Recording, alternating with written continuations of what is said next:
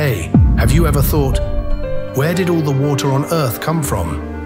Many scientists believed that water came from asteroids hitting the Earth long ago. But now researchers from Oxford University have found something very surprising.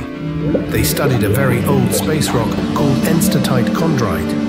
It's almost 4.6 billion years old.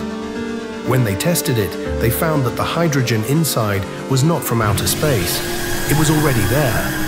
This means early Earth already had the ingredients to make water from the very beginning. Lead scientist Tom Barrett said, We thought water came from outside, but maybe it was here from the start. To find this, they used a very special tool called XANES spectroscopy, with a huge particle machine. But some other scientists say the rock was in Antarctica for many years, so maybe hydrogen got added later. Still, this study gives us a new idea about where Earth's water may have come from. Imagine Earth may have been wet from the very beginning. Isn't that amazing? Like and follow for more cool science stories. See you in the next one.